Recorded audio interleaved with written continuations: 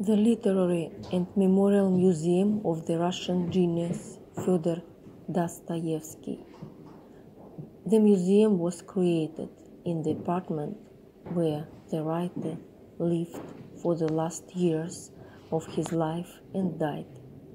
He died on January 28, 1881.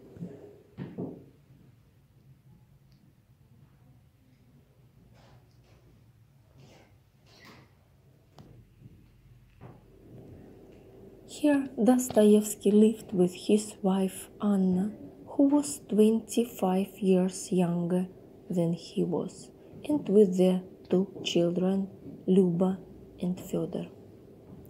The family had four children, but two of them died.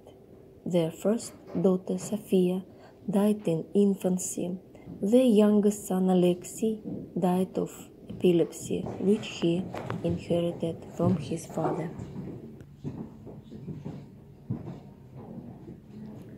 The family laughed together at the dinner table. On the way home, Dostoevsky bought something tasty for the children. He was good and caring father.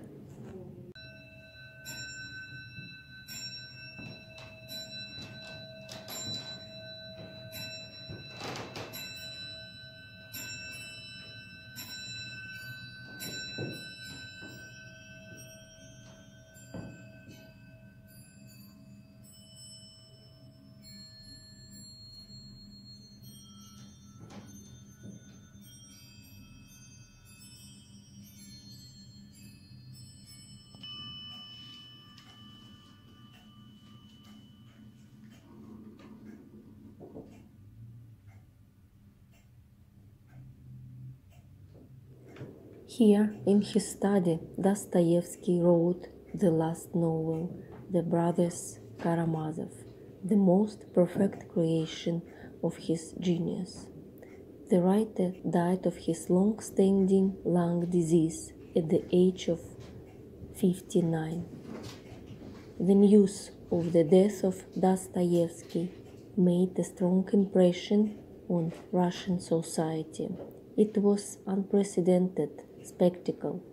All St. Petersburg participated in the funeral procession to the church where the funeral service was held.